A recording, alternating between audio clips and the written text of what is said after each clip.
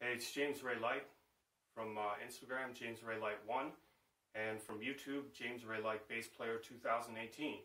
Yeah, I just wanted to say I have no political affiliation, but I'm asking people to not support Obama, Michelle Obama, or Oprah, and to walk away from the Democratic Party. Um, they're all career criminals.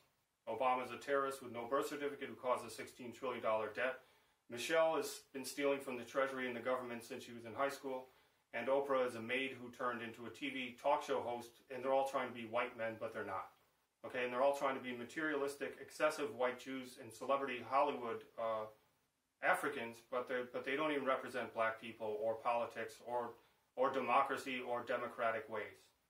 Okay, they're all career criminals who should be indicted, and they should not be supported by anyone. So, hashtag walk away from the Democratic Party and Oprah, Michelle, and Obama. Time's up for Oprah instead of her trying to act like she's she's a white man who's in control of the whole world. She undermined democracy by installing a traitor, Obama, whose real name is Barry Soetoro, who's a CIA double double operative, black ops probably, well, with no birth certificate. Uh, they they have a whole conspiracy. Uh, their all of their stuff is based on lies.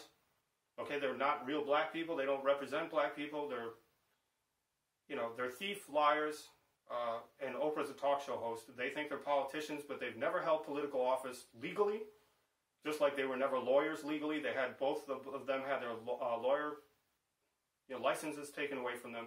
Michelle and Obama. Oprah is, you know, she looks like a field Negro, just like the character in, in uh, you know, The Color Purple. She's trying to be a white man. She tried to be Phil Donahue with her talk show host. She tried to be uh, Clint Eastwood with her acting uh, or try to be Maya Angelou with her poetry and her books. And she's trying to imitate, you know, Ronald Reagan now trying to trying to be a president.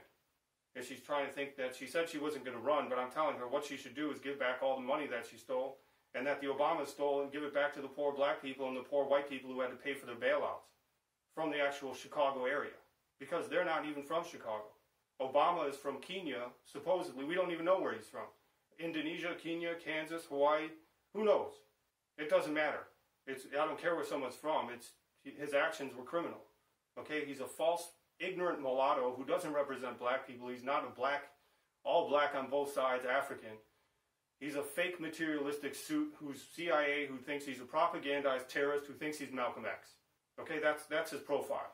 Michelle is an ignorant uh, black woman who is poor, who has big arms, who looks like a monkey with a bad eye, and she's a thief. She has been a thief, and she wanted to be the, the smart girl who outsmarted everyone, but she's a dumb African from the South Side who, who is trying to act white. She's trying to act like Phylicia Rashad, but she has no class and she can't sing like Phylicia Rashad, who's an intelligent black woman. And I grew up watching the Cosbys. Okay, I like black people. I like black women. I like the movement of black people to freedom. Why do you think that white people gave up 250,000 lives in the Civil War from the North, from Illinois, was to free black people. So in 1965, 1968, they have a civil rights movement. So they just wanted a seat on the bus, and they just wanted equal rights. So we gave that to them, which they should have had from the beginning. But now Obama, Oprah, and Michelle want to, want to become terrorists who take over the world and try to create civil wars in America with Black, Black Lives Matter. And you're preaching to the choir because don't you think white people know that Black Lives Matter? If we gave up 250,000 lives from Illinois, and Illinois is the place who made actually legal slavery was supposed to end through Lincoln. You understand that's why the Civil War was fought? Because we know that black lives matter. So black people need to understand that, you know, white people do care about them. Why do you think they created a government that gives them welfare and gives them everything for free? Scholarships, Medicaid, welfare, all this stuff. And the Democratic Party is, is basically tries to keep people poor you know, and, and dependent upon the government and just, you know, they end up going bankrupt because they want to give everything away for free. And that's not, that's not how this system of, you know, free market system in America, a capitalist system works. So I'm not a Republican and I'm not a Democrat. I'm an independent person who never voted for Obama, the Clintons, Trump, or the Bushes. Okay, I don't agree with any of their politics, and Trump should have had to have been a senator for two years because he's an illegal president also all of these people don't understand how to follow the rules of democracy or the, or the laws of the country. You know, I don't have a problem with them. They have a problem with following their own the laws. Because I'm not a cop and I'm not an informant and I'm not, you know, anything like that. I'm not FBI. But what I'm telling people is, you know, the FBI should arrest them and indict all of them. Because why? If someone walks in and tries to rob a bank, they would they would get shot or they would get arrested right there on the spot. So how could you let people who are criminals for 34 years or 20 years, or even Obama for 18 years, run wild like that and just and just try to have dossiers for you know 3,000 pages on all of them? They need to they need to be stopped and they need to be arrested. You know, all these people are mentally ill, and they're all CIA. They're all black ops CIA, and they're all caricatures of of. They don't represent American civilians and the CIA needs to follow the rules because the CIA needs to stop uh, conspiring against innocent civilians like myself and trying to kill people in hospitals and mental institutions and then breaking into people's houses and trying to kill them in their sleep. Because I, I this, my own personal experience has been uh, the CIA threatening my life and trying to kill me while supporting Oprah, Obama, and Michelle and the Democrats from Chicago who are Democratic Jewish uh, machine that doesn't even that didn't even run correctly since the Daleys. I'm from Chicago. Michelle's only from the South Side. She's a thief and has been a thief since she was uh, a child. Since she was stealing from her family, stealing from uh, her high school treasury, stealing from the government through the Medicaid and the government uh, Chicago medical community, and then she defrauded the government again with Obama through Oprah after Oprah endorsing Obama in the election of 2008 to 2016.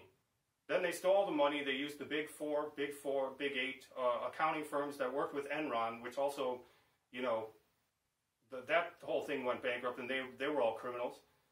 Uh, so they've been using the same accountants, and I, you know, my question is, is how much money did they steal to try to end up living like materialistic, rich white celebrities in Hollywood and in the Hamptons and in Washington, thinking that they were poor Africans with no credentials they didn't have any represent fair representation of real black people, of, of bus drivers, of poor people in the projects, of you know, even if Obama worked with the poor people in the projects, he, he acted like he was a tourist guide and a foreigner. Okay? They don't represent real people from Chicago. They don't represent New York. They don't represent LA.